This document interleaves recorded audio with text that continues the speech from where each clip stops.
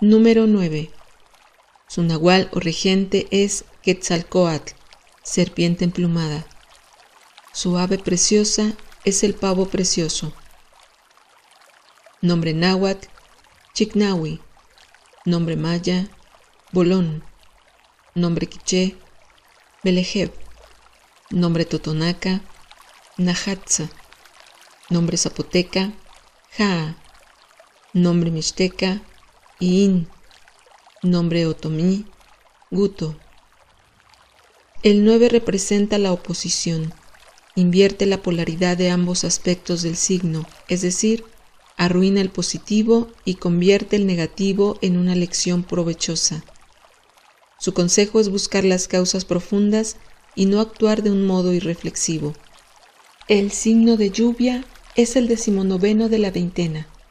Su nahual o regente es Mozaguani, el ayunador. Se orienta al oeste. Su elemento es el agua y su color el negro. Su horario de máximo efecto es el atardecer. Su componente humano, las emociones. Nombre náhuatl, Kiahuitl. Nombre maya, Cahuac. Nombre quiché, Cahuoc. Nombre totonaca, Tajcuc. Nombre zapoteca, Ape. Nombre mixteca, Co. Nombre otomí, Dalle. El signo de lluvia representa la sensibilidad, el placer sensorial y la alegría, la renovación de las cosas y la fructificación de los esfuerzos.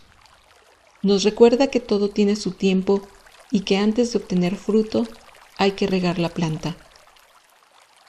En nuestra historia personal, la lluvia simboliza los hijos físicos y espirituales que hemos tenido. Los días en que rige lluvia son excelentes para dedicarse a la pareja y los asuntos sentimentales y de familia. Los nacidos en este signo son sensibles, profundos y atractivos, con un gran impacto sobre los demás y facilidad para establecer relaciones. Son valientes y energéticos, alegres y de mente ágil. Como la lluvia, son capaces de fecundar y nutrir sus proyectos también tienen una tendencia a las ciencias y el ocultismo. En el aspecto negativo, la salud física y mental de lluvia es frágil. Si no controla sus impulsos, puede volverse presumido, chismoso, envidioso, deshonesto, cínico o burlón, llegando a herir de palabra a los demás. Consejo tolteca. Conténtate con lo que tienes y busca tus propios recursos.